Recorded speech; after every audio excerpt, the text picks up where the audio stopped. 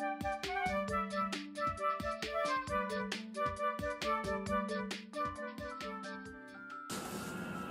い、どうも、皆さんこんにちは、まさかずです。いつもありがとうございます。さあ、今日はね、えー、こちらも見ててわかると思うんですけれども、お迎えをしました。で、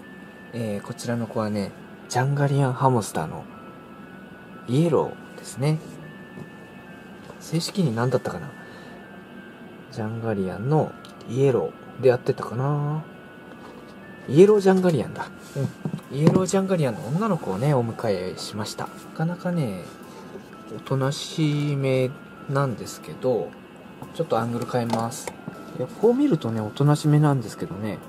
あの、早速、葵くんと一緒に、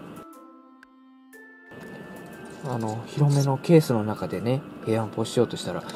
その、この子がね、食ってかかってしまってね、今、ちょっと、ケース越しにね、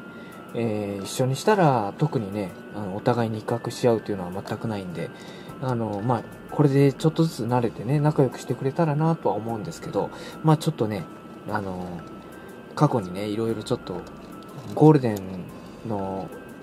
えー子供たちのねまあいろいろあったんでねうん一緒にするのはね慎重にしようと思います。まああのどうしても合わない場合はねまあ、仕方ないですからね相性ですから。あの個別でね飼育していこうかなと思います。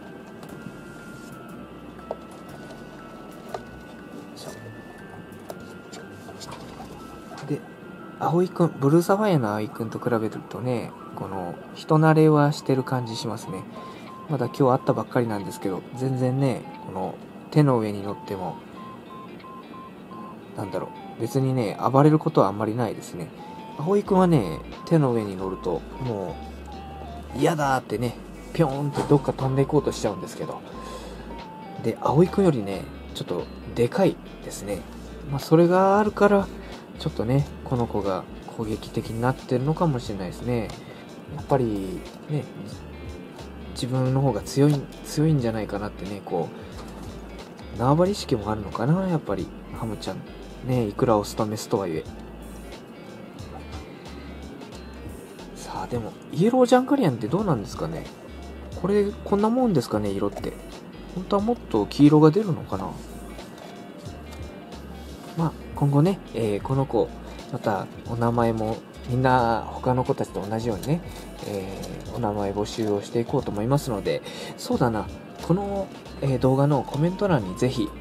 名前の候補お寄せくださいよいしょすごいね、ムチムチもちもちで可愛いですよ。はい、ちょっとね、突然ではあるんですけど、ぜひ、えーいい名前思いついたよっていう方、コメント、ぜひともよろしくお願いします。で、思いつかなかったなっていう方はね、この動画のコメント欄を覗いて、いいなと思う、えー名前にね、グッドボタンを押してください。そして、どうしようかな、くじ引きもいいんですけど、まあ、決め方に関してはね、またライブ動画を通しながらね、えーゆっくり決めていこうかなと思います。はい、本日は、えー最後までご視聴ありがとうございました。また今後もね、この子の動画どんどん出していこうと思うのでね、えー今日のお昼みたいにね、ライブ配信もどんどんやっていこうと思います。えーぜひ、まだの方はチャンネル登録して、可愛いハムちゃんたちの動画、えーたくさん見てください。それでは、また次の動画でお会いしましょう。バイバイ。